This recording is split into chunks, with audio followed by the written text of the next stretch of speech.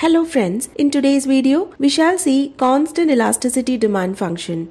In economics, the demand curve shows the relationship between the price of a product and its demand. That is, how much of that product people want to buy. Economic theory does not define any particular form of the demand curve. Market demand is sometimes shown as a straight line, that is, as a linear demand curve, and sometimes as a curve convex to the origin, which is the rectangular hyperbola. The linear demand curve may be written in the form Q is equal to B0 minus B1P and implies a constant slope but a changing elasticity at various prices. The most common form of a non-linear demand curve is the so-called constant elasticity demand curve which implies constant elasticity at all prices or in simple words elasticity is the same at every point along the curve. Constant elasticity demand curve has the exponential form q is equal to a multiplied by p raised to epsilon where a is a positive constant and epsilon is the elasticity at every point along the demand curve which tends to be negative. The figure shows several constant elasticity demand curves with varying elasticities. The two extreme cases of constant elasticity demand curves are vertical demand curve with zero elasticity and horizontal demand curve with elasticity equaling to infinity. A simple proof of constant elasticity demand is presented here.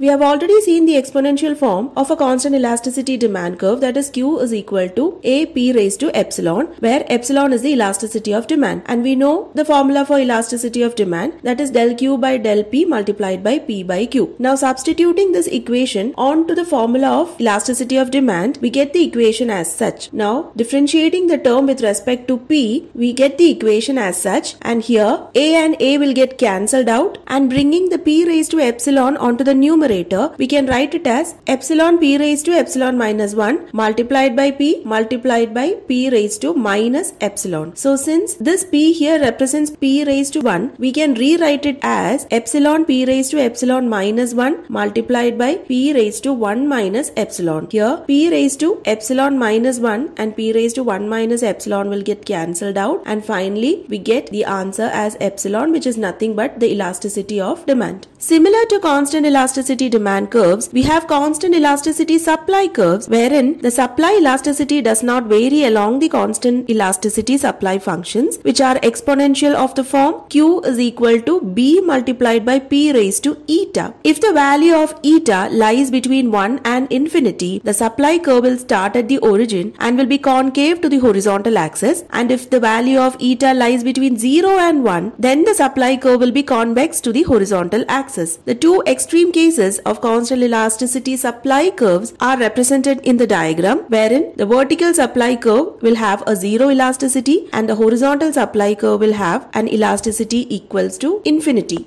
Economists prefer using elasticity over the slope as a measure of how responsive demand is to price changes because elasticity is more flexible and does not depend on the units of measurement while the slope does. The constant elasticity demand function can also be written as Qx is equal to B0 multiplied by Px raised to B1 multiplied by Po raised to B2 multiplied by Y raised to B3 multiplied by E raised to B4t where Qx is the quantity demanded of commodity X, B0 is a constant, Px is a price of good X, Po is the price of other goods, Y is a consumer's aggregate income and EB4T represents a trend factor for tastes where E is equal to the base of natural logarithms and B1 is the price elasticity of demand, B2 is the cross elasticity of demand and B3 is the income elasticity of demand. In this equation, the coefficients B1, B2 and B3 are elasticities of demand which are assumed to remain constant, which is why it is termed as constant elasticity demand function. Usually, the pragmatic approach expresses the demand function in such a way as to incorporate the assumption of no money illusion postulated by the traditional theory of the consumer. Money illusion is a subjective aspect and considers money in nominal terms rather than in real terms and ignores the effects of inflation. When nominal income increases during inflation, consumers mistakenly believe that their purchase purchasing power has increased when in fact it has declined due to the rise in prices. Here, the demand function is expressed in the assumption of no money illusion. That is, consumers recognize that an increase in income only matters if prices stay the same. Economists show this by expressing demand as a homogeneous function of degree 0 which means that the quantity demanded of a good will not change if its price and income change by the same proportion. This reflects a situation where consumers are focused on the real purchasing power and not just the nominal amounts. The homogeneity of degree 0 is most commonly achieved by introducing real income and relative prices that is Qx is equal to B0 multiplied by Px by P the whole raised to B1 multiplied by Po by P the whole raised to B2 multiplied by Y by P the whole raised to B3 where P is a general price index.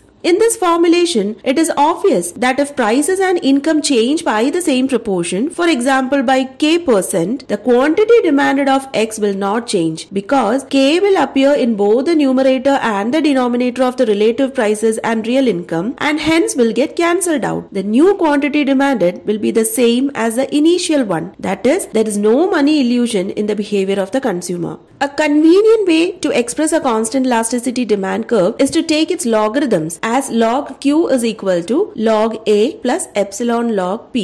In this expression, the logarithm of q depends in a linear way on the logarithm of p, which means that the relationship between price and quantity follows a predictable proportional pattern. A 1% change in price always leads to the same percentage change in quantity demanded, which makes the analysis straightforward. The constant elasticity of demand function can be proved mathematically as constant. For this, B1, which is the price elasticity of demand, can be taken to be proved as a constant using logarithmic transformation. Thus, the equation qx is equal to b0 multiplied by px raised to b1 multiplied by po raised to b2 multiplied by y raised to b3 multiplied by e raised to b4t can be written in logarithmic form using the rule of log of a product and the rule for log of a power as log qx is equal to log b0 plus b1 log px plus b2 log po plus b3 log y. The error term is not not used for simplicity.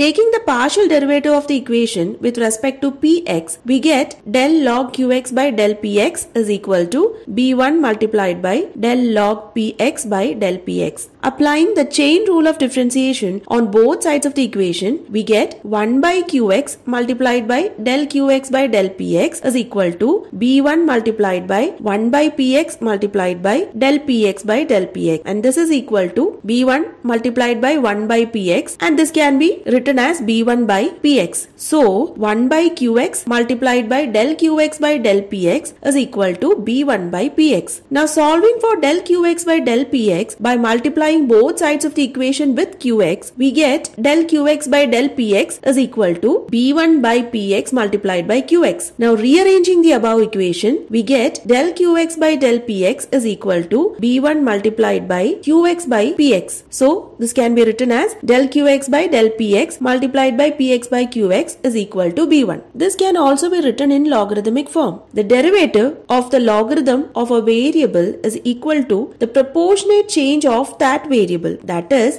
del log qx is equal to del qx by qx and del log px is equal to del px by px. This can be substituted and written as del log qx by del log px is equal to b1. Hence, it is proved that b1 which is the price elasticity of demand is constant. That was all about the constant elasticity demand function and its mathematical proof. If you like the video, do subscribe to my channel and share the videos to maximum. Thank you.